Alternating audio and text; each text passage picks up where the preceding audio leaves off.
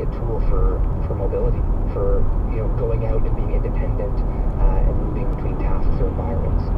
So I know that a lot of people with low vision have um, often the area in the center of their field of vision is, is where they can't see. So if you're projecting these two screens how, how can you see that? Why is that not Mr. Dodge, have to.